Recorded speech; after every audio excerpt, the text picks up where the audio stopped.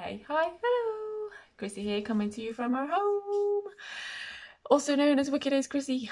Uh, okay, so video. What am I doing?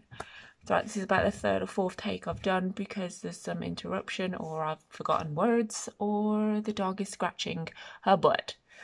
Um, so, anyway. Hi, thank you for being here. I appreciate you. If you are here, it is because I am asking you for your help, please. Um, so I can help other people. Uh, so, because that is my huge passion. My passion is to help other people change their lives and just show them that they can and that they have the power to do so. Uh, so yeah, I'm writing it all in a book at the moment. All my lessons that I've learned, all my experiences, everything in one book and I want to get it out into the world and publish it.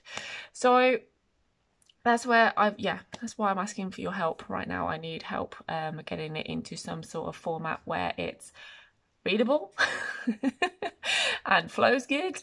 Um, so editors cost and so does publishing.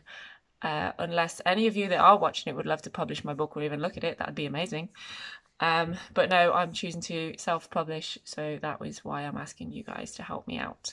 I have set up a tier system where you can um, order pre-order a signed copy uh, for £15. If you donate £15, you'll get a signed copy. If you donate £30, you'll get a signed copy and a mention in the book, but you need to obviously give it to me before I even send it off to print because otherwise you won't get a mention anyway um, and then there's uh, the next tier is like a hundred pounds yeah hundred pounds which will be for a meet and greet. If you obviously live near me or know me then we will go for a coffee or a pint whatever it is and i'll give you your book. Like here you go. Um, or it'll be a zoom uh, online like this if you live like on the other side of the world.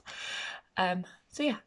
Uh, but if you can donate anything, anything small, um, it doesn't have to be fifteen pound, anything at all, or even if you just share this post or share this with your loved ones, with your family, I'd highly, highly, highly appreciate it.